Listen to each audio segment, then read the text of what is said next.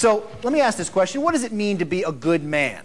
Well, that's the question being asked by a new book, documentary, and online forum known as the Good Men Project Real Stories from the Front Lines of Modern Manhood. I never set out to cover wars, but my father, who left when I was six, was a soldier.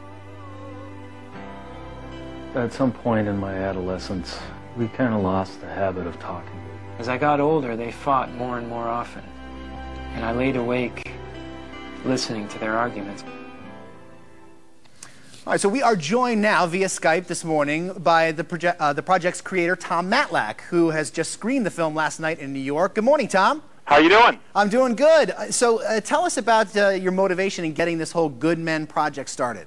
Well, we think that men in this country are really at a turning point, um, partially because of the expectations of us as fathers and as husbands, partially because 70% of the job loss in this country is men, partially because we're fighting in these wars for almost a decade now. Uh, men are finally having that conversation that women have been having for decades about what's really important in life. Right. And, so we have uh, 31 essays in our book, um, and 10 essays, and 10, 10 of those men in a, in a documentary film talking about what it means to be a good father, good husband, good worker, good man.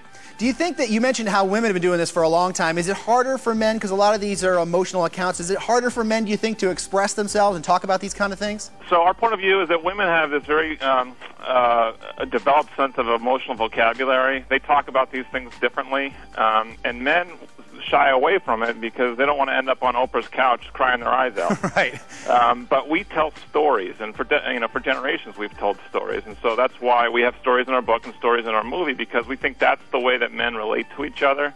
And they like to talk about that turning point, that moment where you woke up and you looked in the mirror and you said, "Oh my God, you know, my life the way it was is not working. You know, what Yeah. am I going to do?" And it may be the death of a child, the loss of a marriage, the loss of a job, um, whatever it is. Um, But you have to kind of dig deep and figure out, you know, who you really are. We only have a few seconds left. What happens with all the proceeds? Uh, the So all the proceeds Project? go to a foundation for at-risk boys because we really think that um, this conversation about manhood is connected to all the boys in our country who don't have mentors, don't even have fathers in many cases. So we started a foundation to help them. That's great stuff. It's a really fascinating thing. Uh, for more information on the Good Men Project, click on the For More Info or Guest tab at dailybuzznow.com. Tom, thank you for joining us this morning. We'll get a look at your uh, weather when we return.